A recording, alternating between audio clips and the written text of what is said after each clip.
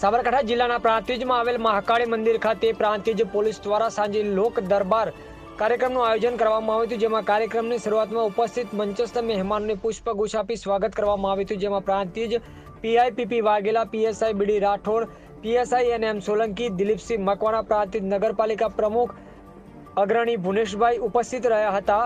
જેમાં પોલીસ દ્વારા લોક દરબાર અંતર્ગત લોકોને કાયદાકીય સલાહ આપવાથી લઈ સરકારની વિવિધ યોજનાઓથી વાકેફ કરવામાં આવ્યા હતા, જેમાં દિવસે દિવસે વ્યાજખોરોનો આતંક સતત વધતો જોવા મળી રહ્યો છે. હાલની પરિસ્થિતિમાં સમગ્ર ગુજરાતમાં રાજ્યમાં પણ વ્યાજખોરોના ત્રાસથી અનેક ઘર બરબાદ થઈ ચૂક્યા છે. અનેક પરિવારો પોતાના સ્વજનો ખોયા છે.